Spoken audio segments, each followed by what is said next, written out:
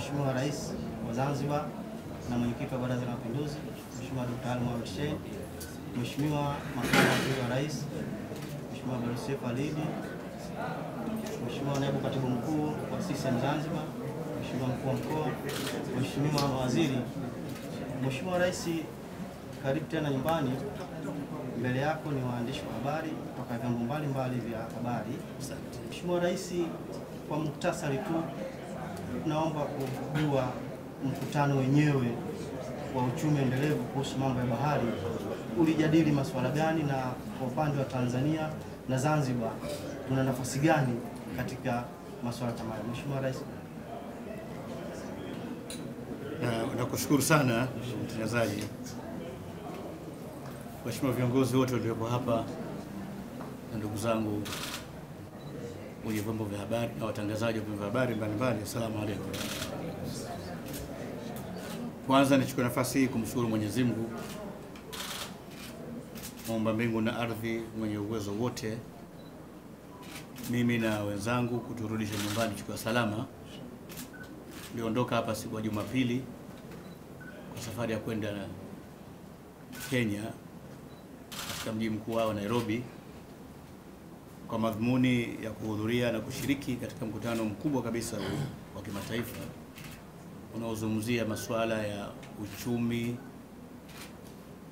wengine wanasema bahari, lakini wazungu wana neno lao, wanasema uchumi wa buluu, blue economy. Sasa inaweza kuwa bahari, inaweza kuwa maziwa, inaweza kuwa mito, maeneo yote yale ya maendeleo ya mwanadamu yanahusika na maji. Mkutano huu umewakutanisha watu wanaokisiwa kufika elfu kumi na tatu kutoka nchi mbalimbali duniani, kutoka taasisi mbalimbali za kimataifa, vyombo vya serikali, visiokuwa vya serikali na taasisi za kijamii mbalimbali. Na sisi Tanzania tumeshiriki katika mkutano huu na nchi nyingi walishiriki, viongozi wa nchi hizo, wengine wameleta wawakilishi wao, wengine viongozi wamekuja wao wenyewe. Mimi nilishiriki kwa niaba ya Rais wa Jamhuri ya Muungano wa Tanzania Dr. John Pombe Joseph Magufuli ambaye amenitaka niende nikamwakilishe yeye na kuiwakilisha nchi yetu. Ujumbe wetu haukuwa mdogo wala haukuwa mkubwa sana. Wanakisiwa kama watu karibuni 30 mpaka 35, wale wanaondoka na umie wachache na wale ambao wametangulia kabla kule, na wananchi wengine wa Tanzania wanaofanya kazi Kenya ambao nao wamejumuika pamoja na sisi. Kwa hiyo tulikuwa wengi kidogo. Mkutano huu ulikuwa na mambo mawili makubwa. La kwanza ni kila nchi walioshiriki, kiongozi wake au mjumbe wa uongozi kapata nafasi ya kutoa tamko la nchi yake, yani statement. Ya nchi yake inasemaje, ina malengo gani? Kwa ufupi sana, na inajiandaa vipi kuingia katika uchumi huu wa, wa, wa bahari na kadhalika. Sehemu ya pili ilikuwa ni mambo ya kitaalamu zaidi. Kulikuwa kuna mikutano mingine wenyewe wanasema side events zilizohusisha hoja na mada mbalimbali za uchumi huu wa buluu, uchumi wa bahari. Maeneo ya blue economy ni mengi sana, mengi sana, unahusisha uvuvi na uvuvi utakuwa baharini au utakuwa kwenye maziwa makubwa au utakuwa kwenye mito mikubwa na maeneo kama hayo. Kwa mtazamo wa Tanzania, tuna maeneo makubwa sana sisi ya uvuvi huu. Tupo katika bahari ya Hindi, tuna mazao makubwa.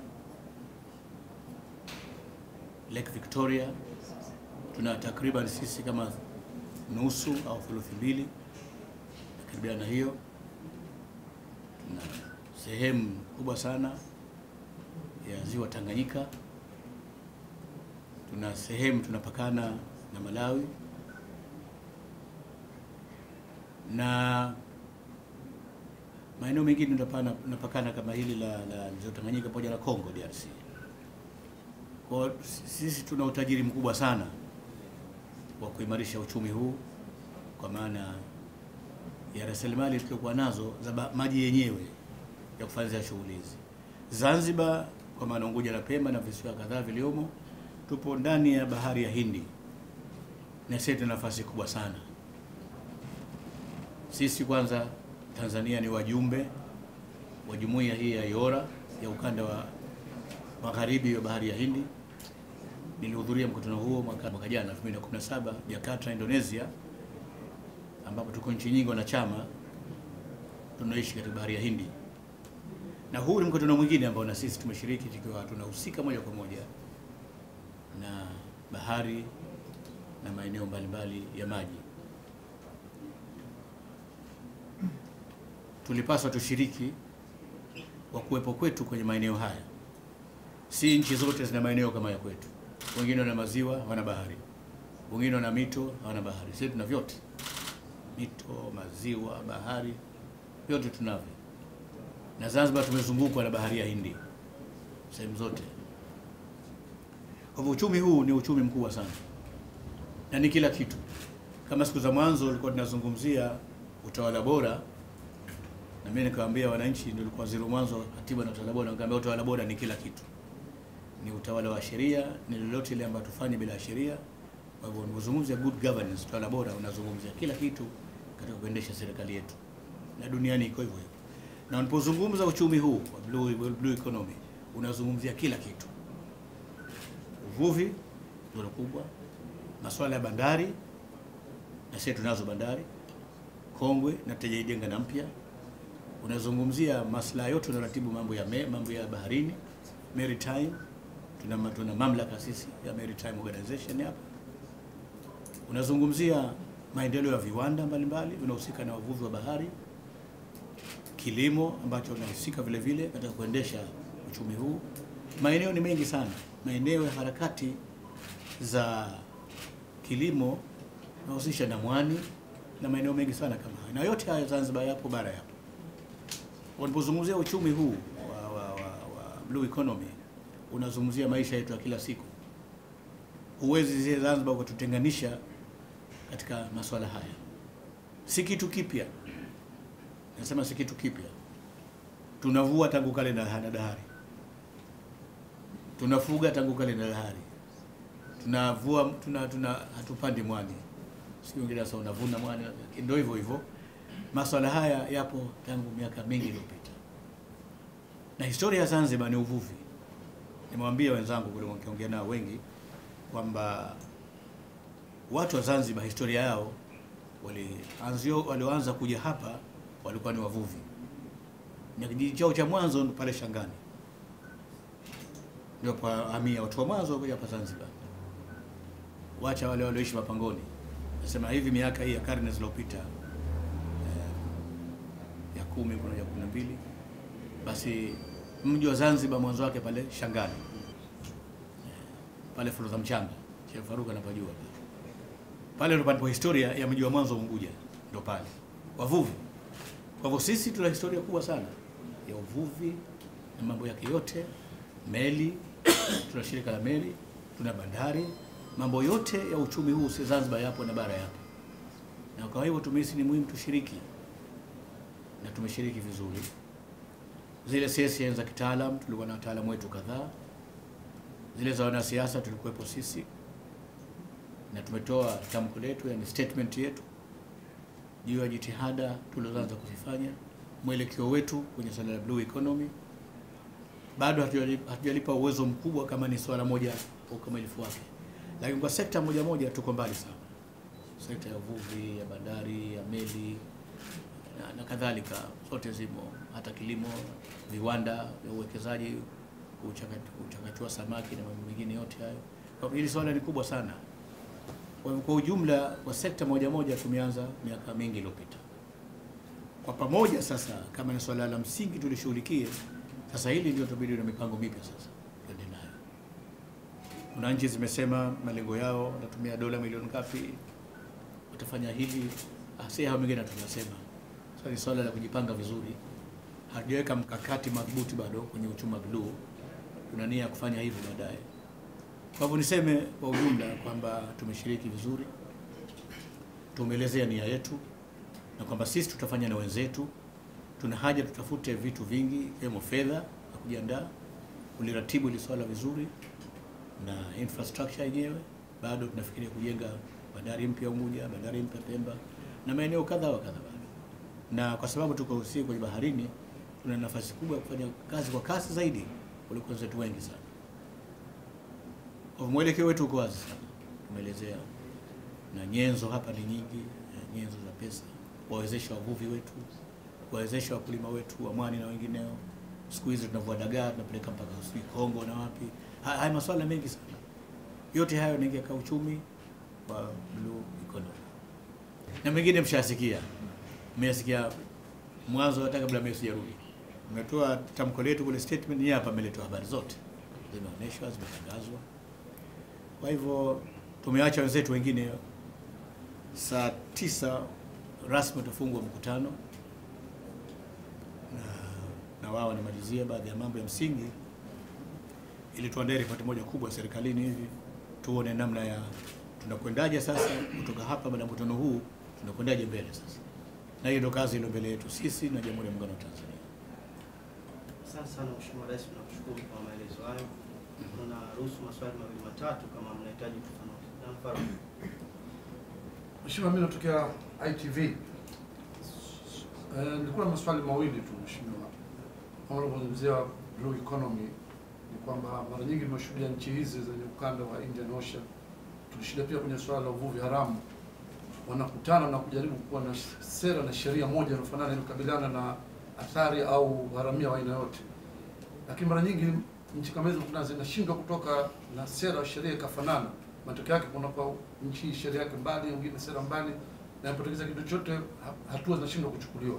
Labda hili kama mlizungumza kuhusu kuwa na sheria na sera ya aina moja ili kukabiliana na tatizo hilo na kuweza kufua uchumi huo wa blue economy. Lakini swala la pili, mheshimiwa, ile blue economy na- nafikiri hata mafuta inahusu Kila kitu e, na nafikiri hata ulikutana na baadhi ya Umoja wa Mataifa maafisa kuhusu ukaomba kwa masuala mazingira na, na mafuta. Swali langu kwamba mkataba ule uliosainiwa hivi karibuni na serikali ya mapinduzi ya Zanzibar, ambapo hata aliwasili mwenyewe Sheikh wa Ras Al kuna watu kuna baadhi upinzani wanasema serikali haikufuata katiba katika kusaini mkataba ule. Labda kwa vile wendo rais wa Zanzibar ukitoa kauli itakuwa ni kauli rasmi, lakini pia nitaka kujua yani, je, ule mkataba umefuata taratibu zote katiba Zanzibar? Lakini swali hilo la nabii yake ni kwamba wananchi hasa wale kipato cha chini, mkataba huo wa swala la mafuta utapojaliwa huko mbele, watafaidika na kitu gani? Wategemee kitu gani? Manake ni mustakbali wa nchi nzima huko pale, labda hili unaambia, je, wananchi watafaidika nini? Swali langu lilikuwa ni ni hayo tu, Mheshimiwa Rais. Swali la kwanza ni kweli, nimesema blue economy ni kama vile good governance, ni kila kitu. Mafuta yanapatikana wapi? Pengine tip chini baharini utapata ardhini, onshore, utapata offshore, bahari, baharini. Kwa hivyo ni moja katika neema za blue economy, uchimbaji wa mafuta na gesi asilia. Lakini la pili, umeuliza swali la sheria. Kila nchi ina sheria yake, si kwa blue economy tu, na sheria nyingine. Sheria za Zanzibar za ardhi tofauti na sheria nchi nyingine. Sheria za Zanzibar na ardhi hata na, na, na Tanzania zinatofautiana.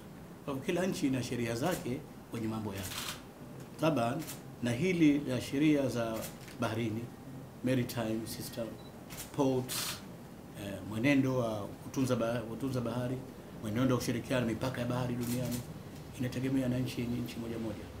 Sasa kila nchi ina sheria zake. Sasa kuharmonize sema leo tuibuke ule tutunge tuwe na sheria moja, haitakuwa rahisi hivyo kwa sasa hivi. Haya yanaweza kuzungumzwa baadaye. Lilo wazi hapa, namna gani tunalinda mipaka ya nchi zetu kwa baharini, namna gani tunashirikiana katika kila mtu asimamie, hasa hawa ma pirates maharamia baharini hasa eh, hawa maharamia hawa wa ukanda huu wapo wengi sana. Sasa lazima kila nchi kwamba ipambane na maharamia, na sisi Tanzania tuwasaidia na jumuiya ya kimataifa na taasisi za kimataifa katika kupata mtaaluma wafanyakazi wetu katika kupata mwelekeo namna kulinda na kushirikiana ili ukanda wetu uwe salama. Haya yanafanyika sasa, yalifanyika miaka kumi ishirini iliyopita na yataendelea kufanyika. Hayategemei blue economy, sababu ni mambo ya kila siku, na maharamia hawapo. Sitaki nitike nchi gani ndio wako wako wengi, wewe unajua uzuri, lakini wanakuja sometime mpaka mpaka yetu. Karibu na Pemba, wanakuja pale. Wana, wana, wana intrude ndani, wengine wanahatarisha hali, hali ya usalama wa nchi yetu, lakini sisi tunawashughulikia. Ndio maana serikali yetu ikaanzisha kikosi hichi cha kuzuia magendo. KMKM ina kazi mbili, kuzuia magendo na kulinda mipaka ya maeneo ya bahari yetu, na jeshi la Tanzania na polisi. Kwa hivyo swala la ulinzi ni swala moja kubwa sana, vinginevyo rasilimali hizi wanakuja watu kutuibia. Meli ngapi zimekamatwa zilivyo samaki katika bahari yetu hii, kwenye EPZ yetu, kwenye EEZ yetu, wanaiba, wamekamatwa na tutaendelea kuwakamata kwa sababu wanavunja sheria. Kuna sheria za, za Zanzibar, kuna sheria za kimataifa za mipaka ya baharini. Sasa hawa hatuwezi kuachia, kwa tulikoshirikiana na, na, na, na, na baadhi ya watu tukafanya vizuri. Si rahisi kuibuka leo sema hebu tuzungumzie basi tuwe tuna sheria moja, lakini naamini kwa huko twendako hili linaweza likatokea, lakini kwamba kila nchi mtu mtu kila nchi na sheria zake, halina tatizo. Labda hili swali lako ile mafuta mimi sikutaka kulijibu kwa sababu mimi ni rais wa Zanzibar na mwenyekiti wa Mapinduzi. Ninapofanya maamuzi ya kiserikali nafanya maamuzi ya Zanzibar, sifanye ya Chama cha Mapinduzi, sifanye ya mtu mwingine. Nafanya maamuzi ya serikali inayoendeshwa na ilani ya Chama cha Mapinduzi. Kwa lugha nyingine, wewe ukisikia mtu kasema ya kwake, achana naye. Mimi nataka nikwambie hivyo, mimi nimesimamia hili na huyo aliosema hivyo alikuwa ipo serikalini, tuliyapanga haya pamoja, akiwepo sign tu tumetia wakati wangu mimi, lakini prosesi zote za sheria iliyokwenda bungeni ikaipa mamlaka kutengeneza Zanzibar sheria yake, na wao walikuwemo. Sasa leo imekuwaje mpaka leo watu wanasema mimi nimevunja sheria? katiba? nani aliyomdanganya hivyo? Sasa mimi sitaki kuingia katika mjadala huo, nasema mimi kazi hiyo shaifanya, sijavunja katiba ya mtu, sijavunja sheria ya mtu. Kama naye mvunja katiba, ende mahakamani ukashtaki, ndio kupatikana haki kule. Hatuna mgogoro wa kikatiba, sasa Tanzania, si Zanzibar ililalamika, si Jamhuri ya Muungano wa Tanzania. Sasa hao wanaosema Sheikh Faruk unataka kushindana nao wacho waseme, kwani ukisema ndio inakuwa? Anasema amenyamaza, basi. Watu wanalala, wafanya kazi zao. Si serikali ndio fanya kazi yetu. Na sasa tumeanza awamu ya pili ya utafiti seismic study ya maji madogo, hujui tumeanza. Na ina, ina, inaanzika Pemba, tamalizia hapa. Na meli nyingine zinakuja. Baadaye. Baada ya hapo nini, tunaanza exploration, naanza kuchimba. Sasa hiyo wacha watu waseme tu, na huyo mtu ende kazuie kule, sisi tusichimbe kama na huo uwezo. labda na wananchi, mheshimiwa, mkataba huo wakati ta- Kwani wananchi sisi tumewaficha? Si tumeonyesha tulivyo sign siku ile, na si imesema tuta wananchi, nitawaambia kila hatua, nitawaambia hatua wa mwanzo shamaliza, kuja wakati ya pili, kazi ikianza, na manufaa yake si ya kwangu mimi. Sheikh Faruki anayofanya mimi si yangu, na muda wangu ukifika, mimi nitaondoka, nitayawacha yote haya, watanufaika wa Zanzibar wote. Mimi sitengezi ya kwangu hata siku moja hapa, natengeza ya, ya serikali ama ya wananchi. Kwa hivyo manufaa yapo kwa wananchi, wasubiri tu. Eh, hi- Hili jambo tu kwanza linaanza, hata akija akichimbwa, hata akapatikana leo uchache kali- akali min alkalili, wasema Waswahili, labda miaka minne mitatu ijayo.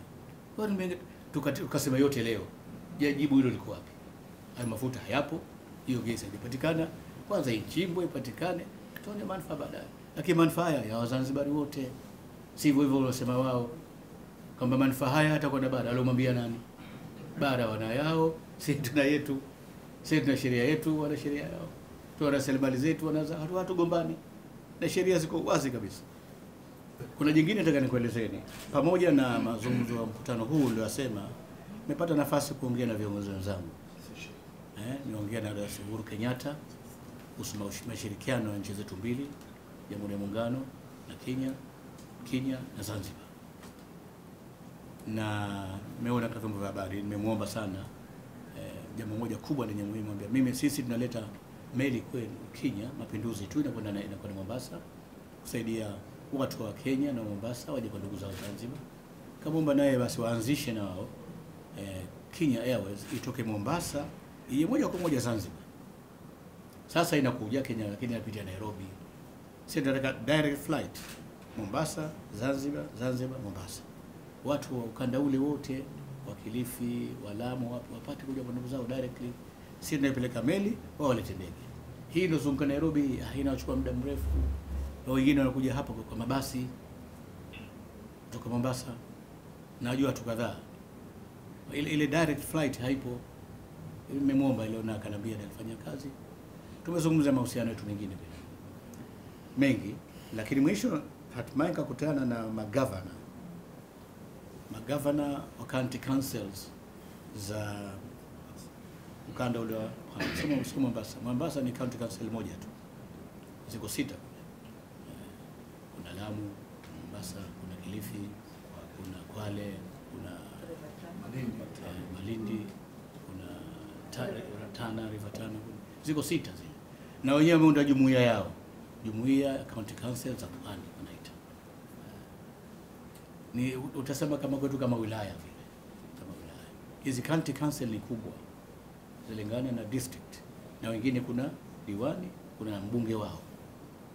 Hao wamekutana nao, waliniomba nikutane nao. Kwa sababu historia ya Zanzibar mnaijua nyie, wale wote ndugu zetu kule kianzia chini Mombasa, Shimoni huku mpaka Lamu kule juu, na watu wengi wana asili zao Zanzibar hapa, na Zanzibar na asili zao watu kule. Wa- Wakaniomba nikutane nao, wana malalamiko yao, wana mapendekezo yao, wana maoni yao, kawasikiliza. Kubwa linahusia matumizi ya bahari ya pande mbili, hasa wavuvi wetu na yale yalotokea. Nimeongea nao kwa mujibu kwa, kwa niwapa nusu saa, lisi ingetosha tukajikuta tumetumia saa mbili na nusu tunajadili mambo ya msingi ya ndugu wa pande mbili. Hilo limetokea vile vile, na tukaahidi tukaahidi kualika na wawaje hapa kutokana na uongozi wa wizara yetu tawala za mikoa, tuanzishe ujirani mwema, tuongee nao vizuri, yale ya pamoja tuyafanye, kuzingatia katiba ya Zanzibar na katiba ya Jamhuri ya Muungano wa Tanzania, kuzingatia sheria zetu, ili ule ujirani wa kisamani urudi kwa nguvu sana. Tusifanye ujirani niliposhughulikia magendo karafuu tu, ujirani wa kudumu kwenye mambo mazuri yote. Lakini nyingine nikakutana vile vile na rais wa Seychelles, naye tukazungumzia uhusiano wetu baada ya Tanzania na Seychelles na baada ya Zanzibar na Seychelles, tukakubaliana mambo ya msingi mengi pale. Tutaanzisha um, kamati ya pamoja yani joint, um, joint- joint permanent commission ya nchi mbili kupanga mambo yetu ya mashirikiano yatatengenezwa vizuri, na tutaanza rasmi na Seychelles maeneo ya kushirikiana na nchi zetu mbili, na pamoja na kutembelea na viongozi na wangazi mbalimbali. Na mimi nilimwambia ile rais kwamba unajua, wewe wewe umeingia juzi, lakini uko nyuma ya viongozi wa Zanzibar wengi walikwenda Seychelles, kwamba pamoja na mzee wetu marehemu Mzee Jumbe Kenda kipindi kilichopita, alimwambia tulikuwa na wasaidizi wangu wawili, makamu wa pili wa rais, makamu wa kwanza wa rais walikwenda Seychelles. Mawaziri wa makatibu wakuu chini ongoza katibu mkuu kiongozi alikwenda vile vile. Kwa sasa tumefungua mlango kuja kwenu na nyie vile vile mje. Na mwisho mkakutana na kaimu mkurugenzi mkuu au sasa hivi naibu mkurugenzi mkuu wa shirika la Umoja Mataifa linaloshughulikia mazingira UNEP. Ni Mtanzania kijana chaguliwa juzi mwanamke eh, bibi Suya. eh, Joyce Msuya Joyce Msuya. naye tumezungumza mahusiano yetu vile vile, nikamwomba yale aliyoongea na makamu wa pili uh, basi yawe ndio msingi wetu mazungumzo, na mimi nikamchomekea jingine pale pale, nikamwambia sasa tumeanza tumesaini PSA ya mafuta, tungependa sana tutengeneze taratibu na protocols namna gani usalama huu utakuwa wa mazingira wakati tunapoanza kuchimba mafuta na vitu vingine, ili na wao UNDP watusaidie na UNEP watusaidie, na hilo wamelikubali sana. Kwa hivyo mambo mengi mengi tumefanya. Muda wa kugombea ni mdogo. Mawaziri wakitaka wanaweza kufanya mkutano wenyewe na, nyinyi wakayasema hali ya ndani kabisa, hata yale ya kitaalamu yamezungumzwa, mambo kadhaa wa kadhaa, namna gani eh, hili jambo ni kubwa sana eh, halina muda mfupi wa kulizungumza, lakini na sisi serikali tunatafakari kutoka baada ya mkutano huu, sasa tufanye nini? Maana dunia nzima inakwenda huko sasa. Kuna nchi imeambiwa kadhaa zishaunda mpaka wizara inasimamia blue economy, Unaona mambo yanavyokwenda eh, si hatujafika huko lakini kwa wizara moja moja za blue economy zote tunazo, lakini kwa wizara moja inayoratibu eh, na habari yake kubwa kidogo. Wenzetu washakwenda huko, tajifunza kutoka kwao.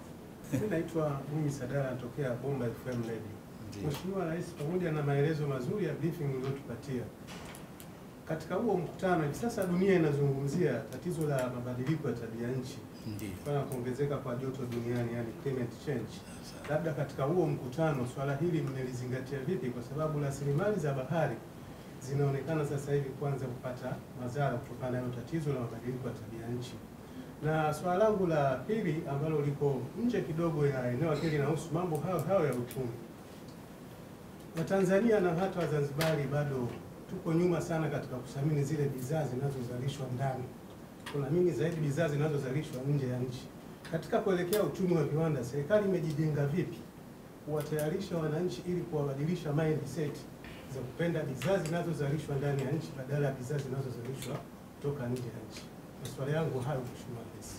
Maswali mazuri. Swala la mabadiliko ya tabia nchi ni sehemu ya, ya, ya blue economy. Huwezi kuzungumzia blue economy bila kuzungumzia climate change na mazingira environment, yanakwenda sambamba. Na nini maana yake? Maana yake mabadiliko ya tabia nchi, nyote mnajua kwamba kiwango cha, cha bahari nacho kimeongezeka, ile level yake maji kaskazini huko Antarctic huko mabarafu yanayayuka kwenye baharini. Kwa hivyo bahari nayo kima chake inabadilika, lakini viumbe wanaishi baharini nao kwa sababu ya temperature kubwa, nao maisha yao yanabadilika. Hata zinapotokea tsunami, tizama dhahma tsunami. Umeona filamu moja ya tsunami inaonyesha wakati mwingine, unaelezea una, una, unaelezea nini wewe kwa mwandishi wa habari tsunami ilipotokea na tabia nchi na blue economy. Sasa nyinyi waandishi wa habari mna, mna kazi kubwa ya kufanya eh, ku- kuielezea kwa wananchi hii uchumi wa blue economy mabadiliko ya tabia nchi, kubandika kupanda kuimarika kwa kupanda kwa temperature, ma, ma, ma, matatizo haya mengine ya viwanda ina pollute condition yetu ya hewa, carbon dioxide inaongezeka, na inapoongezeka carbon dioxide, ulisoma chemistry school, ikiingia na maji inaonyesha maji ya mvua, unapata carbonic acid. Na paingine inatoka ile sulfurous acid, ikienda kule baharini viumbe vinakufa vile. Hayo madhara makubwa sana kupitia mtandao huu wa kubadilika mabadiliko ya tabia nchi. Kwa hivyo ni mengi sana yapo, yote haya yamezungumziwa, na mimi statement yangu imelisema hilo, mabadiliko ya tabia nchi kama ni moja ya athari ya blue economy. Sasa tumejiandaa vipi sisi kuambia wananchi kwenye uchumi huu? Sijui nyie waandishi wa habari mmejiandaa vipi? Maana kila mmoja na kazi yake. Mimi kazi yangu kuongoza serikali, kuweka mipango, strategic plan, action plan, tuelekee katika uchumi wa- buluu. Lakini na nyinyi mna roli yenu vile vile waandishi. Na nyinyi mmejipangaje kuambia wananchi? Kila mmoja na kazi yake. Ni kazi yangu kama kama Radio Zanzibar naijua. Nimekwenda huku nimeona kwa wenzangu na uzoefu wa Namibia na uzoefu wa, wa Kenya na uzoefu wa nchi nyingine, watu wanafanya vipi na sisi tufanye vipi, na uzoefu wa nchi za Ulaya, Canadians na wengine wote hapo. Tunajua ni hiyo kazi ya serikali kuweka mikakati yetu sisi kwa yale ambayo tumejifunza katika katika mkutano huu. Lakini nanyi waandishi wa habari, na nyinyi mtafanya nini? Hebu na nyinyi kaeni kitako, mjipange uzo nyote kwa pamoja. Hizi ni institution kubwa sana ya jamii muone na nyie mtawaelimisha vipi wananchi na uchumi huu mkubwa. Nakushukuru sana nyote, asanteni sana. Asante sana Mheshimiwa Rais, nakushukuru sana na agizo lako, tutakaa tutaweza kuwajulisha wananchi juu ya blue economy. Mheshimiwa Rais, nakushukuru sana na hapa ndio mwisho wa mkutano wetu. Asante sana.